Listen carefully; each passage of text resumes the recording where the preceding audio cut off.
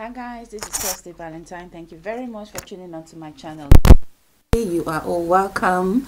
Uh, we talk about everything concerning life. In this video you're going to be watching, it's a very dangerous video. She's so damn lucky. She's so lucky. It's about a lady who cries out after she found out that the slippers that her friend gave to her to take to a relative abroad contain hard drugs. I want you to watch this video and my advice is do not take any gift from anybody whether you're going to the motherland or you're coming abroad. If they need to take any gift to their relative, they should do it themselves by courier service. Leave a comment, share this video and we will be right back. This is an advice. There are certain luggages you need to take. You're going to be seeing the luggage at the end of this video. Watch the video. No problem. Oh my God. Jesus. Jesus. Jesus. Tramadol. Hmm. Tramadol. Tramadol. Wow, wicked. Na tramadol. See, eh, if the girl call you, eh, eh, just tell the girl say, make the girl call say girl issue No, no, him say me receive and the girl no come. This is the first carry, make carry come on. Oh my God. Jesus. Jesus. Jesus. Tramadol. Hmm. Tramadol. Na tramadol. Wicked. evil the evil that men do lives within them. The evil that men do don't live after them. The evil that men do live in them.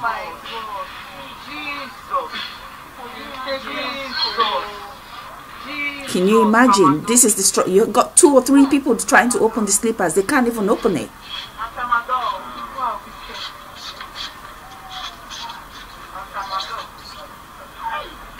If the girl call you, say, make the girl call say girl issue with the, with the Oh, business. so that's it. No, no, tell him say me receive and the girl no come. This is the first carry, make carry come on. Oh my God. Jesus. Jesus. Jesus. Tramadol. Hmm. Tramadol. Na tramadol. Wow, wicked. Now, this is my story. These are recommended hard, plastic zip free luggages. Do not take any gifts from anybody. Do not take any gifts from anybody. It is not your responsibility to take any gifts from anybody wherever you are going, whether it's your father, your mother, your brother, your sister. If they need to send any gifts to anybody, then they should do it via courier service. It is not your responsibility. A lot of innocent Nigerians, a lot of Africans, a lot of uh, people from other parts of the world are languishing somewhere in a confined, restricted space for life, so for something that they are completely innocent of. Somebody gives you a gift, they put something inside, you're not there when they were packaging it, they give it to you, you innocently out of sentiment and the love you have for your friend or relative, you put it among in your in your in your luggage.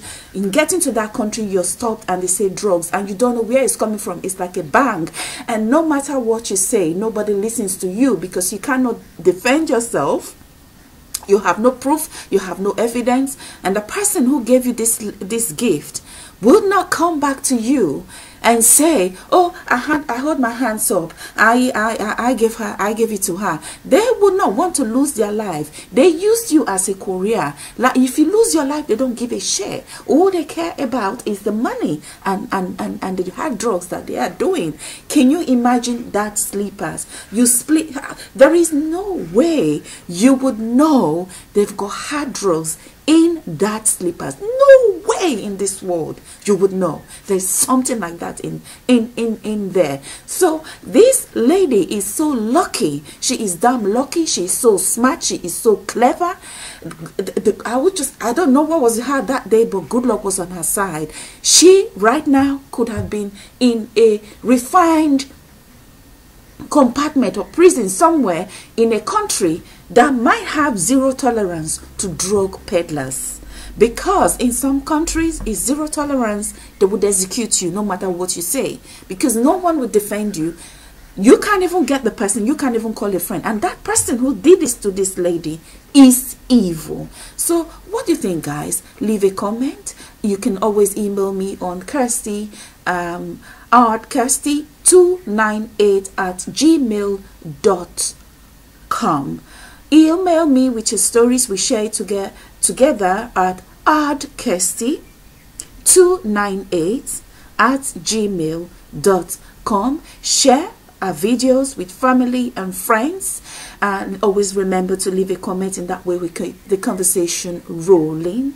Do not forget to press that shiny red button on the right of your sc screen to subscribe. And remember to press the bells button for notifications in that way you know when Kirsty Valentyn is live or when a new video have been operated. Until we see you next time love and peace